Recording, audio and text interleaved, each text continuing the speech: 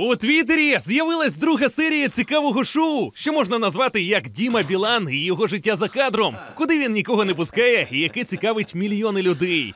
Цього разу камера таємного режисера почала працювати в російському місті Оренбург, куди артист приїхав із концертом. Запис тривав у машині, готелі під час саундчеку і безпосередньо виступу. Для меня же вода это трындец. Спать в ванной и провожать воду. Пока вода.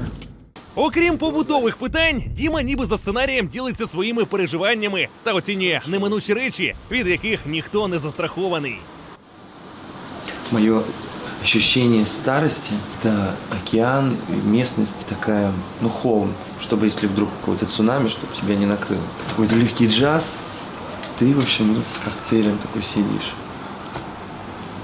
Я в смысле. И вот на ветру такие шторки, окна в пол, и такие шторки вот так вот колышутся.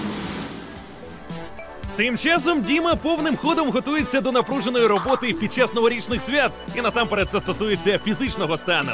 І на відміну від своїх колег, які обирають для цього теплі країни, Білан віддає перевагу традиційному російському відпочинку. Інтернет уже встигли облетіти пара знімків, зроблених Біланом у традиційній лазні. І як зізнається артист, цей варіант відпочинку відновлює як ніщо інше. С поезда, причем приезжаем в 6 вечера.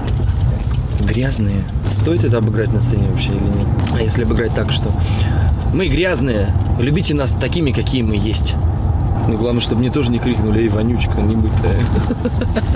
І традиційно перед святами дні Білана розписані по годинах. Окрім корпоративів, на які цього року виконавці знизили розцінки, Білан виступить на традиційній пісні року.